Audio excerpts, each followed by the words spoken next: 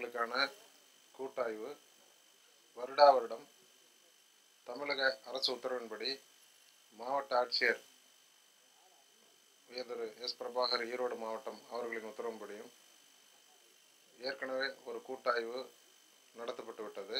அந்த வகையிலே விடுபட்ட சத்தியமங்கலம் மற்றும் தாளவாடி பகுதி சார்ந்த வாகனங்கள் இன்று கூட்டாய்வு செய்யப்படுகிறது. இந்த ஆய்விலே மோட்டார் வாகன ஆய்வாளர் வட்டார போக்குவரத்து அலுவலர் செயலாக்க பிரிவு மோட்டார் வாகன ஆய்வாளர்கள் மற்றும் வருவாய்த்துறை காவல்துறை கல்வித்துறை சார்ந்த அதிகாரிகள் இங்கே வந்து அனைத்து வாகனங்களும் மேலாய்வு செய்யப்பட்டு வருகிறது.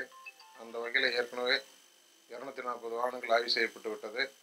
மீதமுள்ள வாகனங்கள் இன்று நூற்றி நாற்பது வாகனங்கள் ஆய்வுக்கு வந்திருக்கின்றது. அந்த வாகனங்கள் ஆய்வு செய்யப்பட்டு வருகிறது. இதில் குறைபாடு தென்படக்கூடிய வாகனங்களுக்கு அறிக்கையில் தரப்பட்டு ஒரு வார காலம் கால அவகாசம் தரப்பட்டு அந்த குறைகள் நிவர்த்தி செய்து காண்பிக்க அறிக்கையில் தரப்படும். அந்த வகையில் இன்று ஆய்வு செய்யப்பட்டு வருகிறது. மொத்தம் நூற்றி நாற்பது வாகனங்கள் இன்று ஆய்வு செய்யப்படுகிறது. நன்றி.